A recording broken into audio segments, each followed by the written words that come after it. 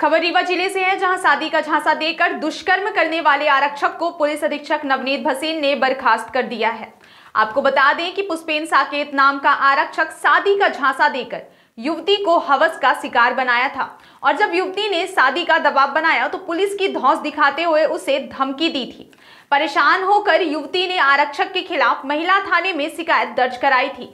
मामले को गंभीरता से लेते हुए पुलिस ने आरोपी के खिलाफ दुष्कर्म और धमकी देने का मामला दर्ज कर गिरफ़्तार कर न्यायालय में पेश कर दिया था, जहाँ से पुलिस अभिरक्षा में जेल भेज दिया गया है।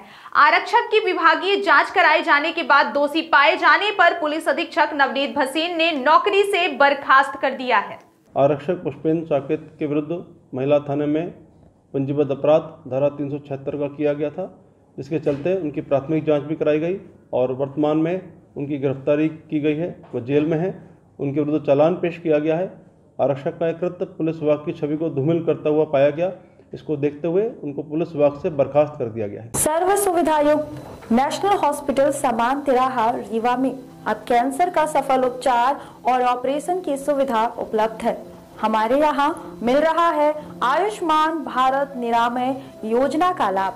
आयुष्मान जन आरोग्य योजना के तहत सभी प्रकार के मेडिक्लेम की सुविधा उपलब्ध है। हमारे यहाँ लेजर कैंसर, अस्थि रोग, एंडोस्कोपी, लेप्रोस्कोपी एवं प्रसूति रोग का अनुभवी चिकित्सकों के द्वारा उपचार किया जाता है। कैंसर के इलाज एवं ऑपरेशन अब रीवा के नेशनल अस्पताल में उपलब्ध है।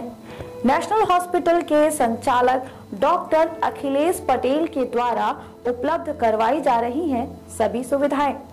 आयुष्मान से संबंधित किसी भी प्रकार की जानकारी के लिए संपर्क करें। मोबाइल नंबर नौ छ नौ एक दो आठ आठ पाँच छ शून्य पर या फिर संपर्क करें सात पाँच छ छ आठ तीन एक पाँच पाँच एक पर। हमारा पता है नेशनल हॉस्पिटल समान तिराहा रीवा। संपर्क करें शून्य सात छ छ दो, तीन पाँच नौ नौ सात चार पर। या फिर संपर्क करें आठ छ शून्य दो आठ आठ पाँच नौ नौ शून्य पर।